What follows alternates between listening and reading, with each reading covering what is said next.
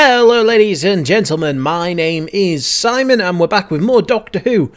This is the third episode of series. No, sorry, the fourth episode of series ten. Um, last week we had Thin Ice, which um, was an interesting episode. Certainly um, a lot better than the episode the week before. I felt. Um, in fact, it was probably the best episode so far this season. Um, where we saw the big monster that was being held underneath the River Thames. We saw a kid being devoured, and uh, it was all well and good. It was it was just a bit of an improvement, really. I think on um, the storytelling that had been, you know, that has been so far uh, this season. I am liking Bill a lot more than I thought I would, which is one of the positives to come out of this season. Um, you know, the Doctor is being rather distant um, so far this season, which is understandable. Um, you know, he's kind of had his memory wiped. You know, Clara has gone from his mind. Um, he's still suffering with a lot of the pain and loss of what he's gone through. You know, um, and I think the the entire season is going to be building up to this. Who's behind the door? I already know who it is. You know, the Knox. That that give it away at the end of the last episode. Plus, it kind of spoiled online. I'm not going to say necessarily who it is, but um, you know, just in case anyone hasn't seen spoilers or anything. But um, I think it's safe to say we know who it's going to be, and I'm, it's going to be interesting to see how that is actually played out come the end of the season. But what we're going to do is we're going to watch this latest episode called Knock Knock. Um, it's going to be interesting to see where we end up, what ends up going on. So why don't we watch it? Enough chat. Let's react. I'm kind of glad that I found my flat on the very first viewing. What do other people do? Other people have money. Forgive me, but are you looking for somewhere to live? Oh, dodgy looking old man. He's gonna he's gonna drug you all and, and rape you or torture you. It's gonna be one of the two. Check the tower. I, am afraid the tower is unsafe. Bill, look at. Guys, come on, you don't just walk into a random stranger's house expecting tonight, my um? You're gonna die first. Yes, yes, of course. So you'll sign the contract. Yes. You don't even know what the contract is. Bill, Literally, kids. You're not asking the question, who are you? Do I need content insurance? How much is the rent? Are we allowed pets? You know? You gotta think these things through, kids. These this is why you're all gonna die.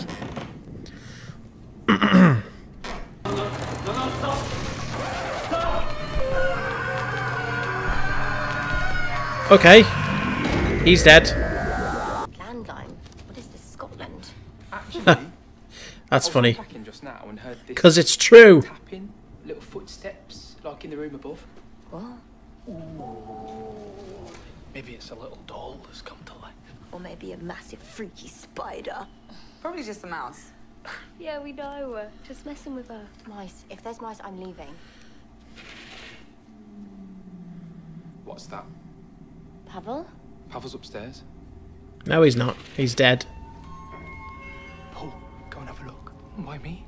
You're physically the biggest. And the most expendable.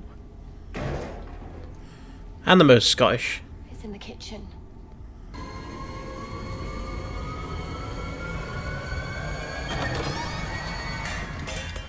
Doctor! Hello. There isn't any. I thought You've gone home. Me too. Isn't any what? Central heating. I've been looking around inside and out. Very interesting. Lots of wood. Uh, why are you still here? Do you know what that is? That's an oil burning heater. You might need it. There's no washing machine either. The hob Really? is from the 30s. Thanks very much. Power sockets will not take your devices. Oh, I thought it was just my room. No, no, no, no. They are out of date. Oh, so this is an out of date house. It's unavoidable, my dear. How do you get into the tower? You don't. Oh. The tower is specifically excluded from the terms of our agreement. Oh, right. Well, thank you. No tower, got it. Right. That kid's face looks like his skull's trying to escape. Oh, are you staying here tonight? Yeah? Uh, no, he's not. Well, I'm not sure. There's no reason to. I probably will. There isn't a bed. So, Sleep on the couch. Sorry, excuse me. Sorry, sorry, sorry. Do you fancy him? No, who? Paul, why? No. hey, That's not- funny. Nope, that's him being killed.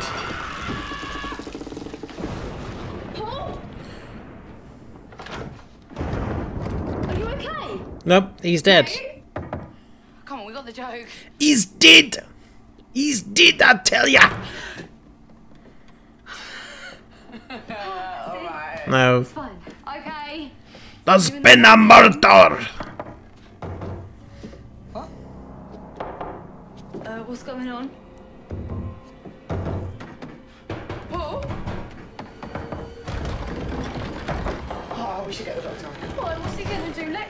The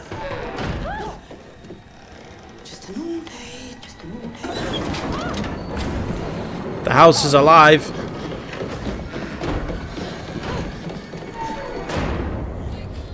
you like this music, Doctor? Reminds me of Quincy Jones. Quincy Jones. The basis he'd hired turned out to be a Clarge, Neon Death, and Vok, or what was worse. I can't be drugged! I can't. She's gonna die next.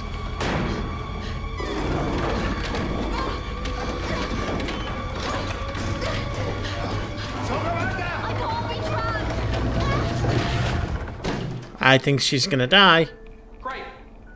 Now we're stuck here. Why'd you try and stop her? He's not questioning, like, why are they now trapped?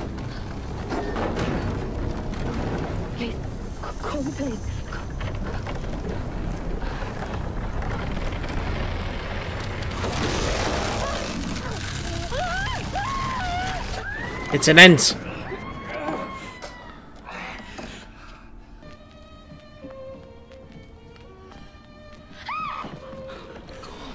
Ooh, hello.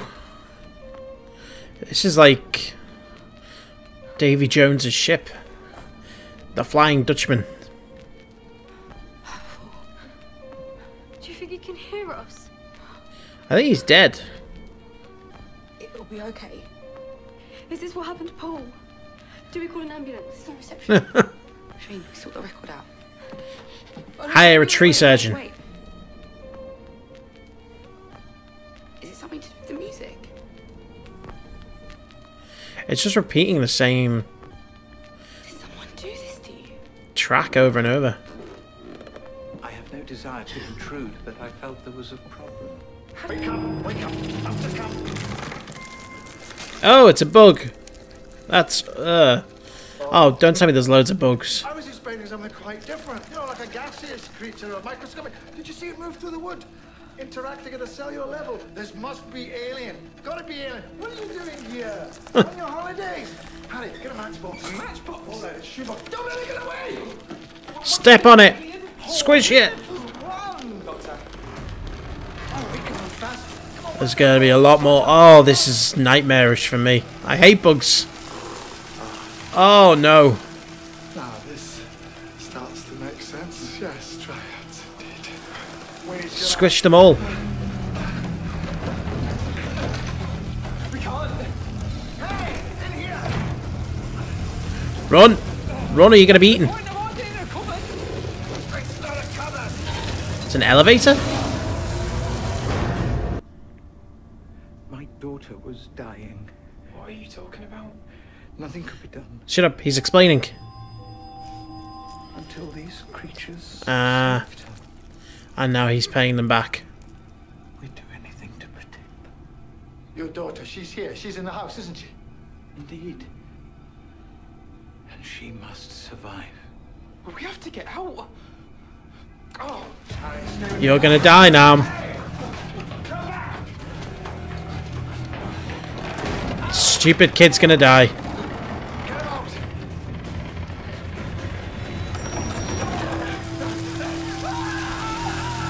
Oh. Oh, did they just eat him? That was pretty. Be more concerned for yourself, Doctor. Your advanced age means you have less energy, less matter. but they will take what they can get. You don't understand. Your daughter alive. How does that work? Come on, call these off. Maybe I could help. I'm a doctor. He's the doctor. I haven't had visitors in such a long time. Uh, I can tell already she's going to be like super old and My deformed. name is Eliza. I'm Bill. This is Shireen. Hey. Oh, she's made of wood. Oh, that's freaky.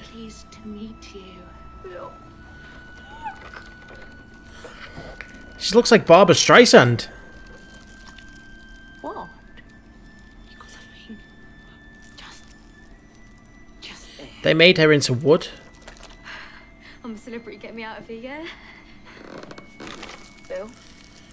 You're gonna die! Cockroaches. Had them on a gap year in Morocco. No problem. Let's go. Uh oh. That was a mistake. Oh no. Oh no. It's in my.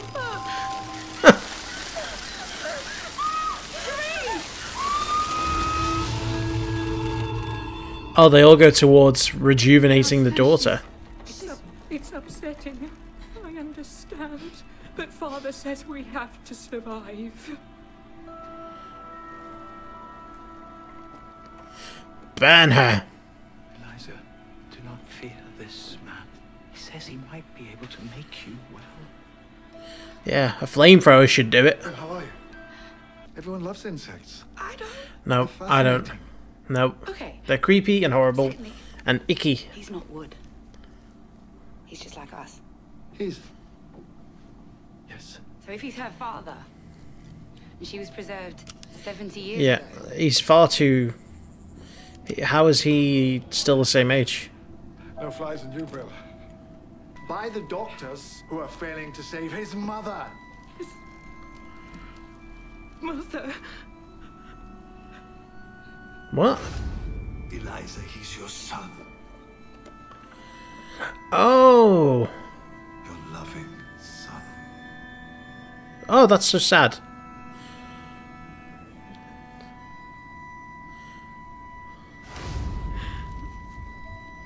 That's really weird now, though. Your dad is your son. This is like redneck America. If you won't finish them, I will. What are you gonna do? You're like 80. little boy. It's us. Uh oh. Mother's about to kill the son, who was her dad. This is weird.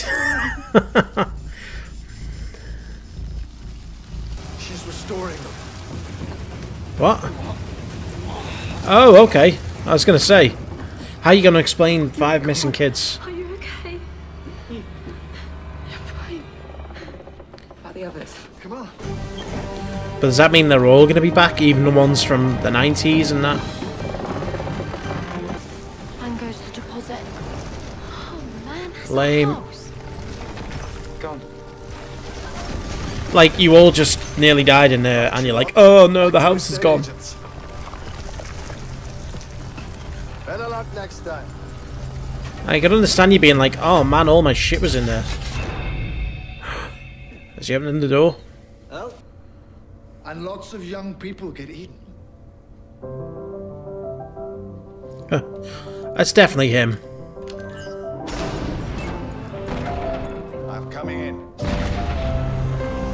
Okay, this episode was uh, creepy, but I really liked it. Um, it had a very kind of Halloweenish vibe to it, with you know the weird noises, the old rickety house, the kids being picked off one by one, um, and then the horrible, horrible bugs. You know, it wasn't like it wasn't like Axeman or anything or a ghost. It was horrible bugs, um, and that's that's scarier to me than you know zombies or anything like that. I hate bugs. Um, yeah, it was actually a, a really good episode. Very unusual ending with the dad being the son and the daughter being the mum. And I was just like, I don't know what's going on. I don't know what's going on here. Um, but it was intriguing. The, I mean, I, I thought they, they were killing them all, um, which would have been fine in my book. You know, would have been fine in my book. But no, they came back because obviously, how are you going to explain five missing kids, um, you know, to the parents? So yeah, a very creepy um, atmosphere to this episode, which uh, you know I very much appreciated. And I'm, I'm sure the Doctor's got had a hair because he seems to have shorter hair than in previous episodes, which I like. I I, I like the uh, the shorter hair on Capaldi as the Doctor. When it gets too long and really curly, I just I don't know. I think it looks a bit of a mess. Um, but I'm I'm getting to semantics here.